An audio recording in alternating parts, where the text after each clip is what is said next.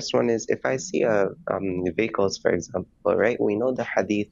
Um, if we backbite someone, they take our good deeds. Uh, if we see a car that has like aftermarket parts that make it look ugly, so we just like um, we joke about how the car looks. Uh, would this count as backbiting? Because we wouldn't want to say it in front of the person who owns the car.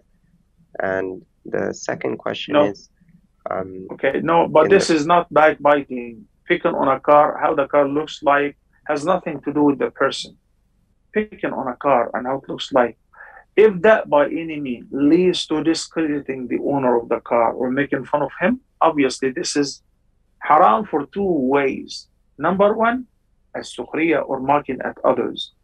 Allah the Almighty said in Surah Al-Hujurat, يا أيها الذين آمنوا لا يسخر قوم من قوم let no people mock and scoff at other people. ولا نساء من نساء. And let no women mock at other women. Perhaps those whom you mock at are better than you before Allah subhanahu wa ta'ala. So if that will lead to discrediting the person, then this is haram.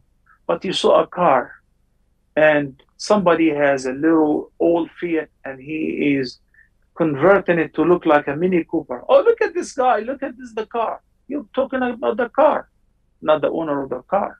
Then it is okay and it's not forbidden.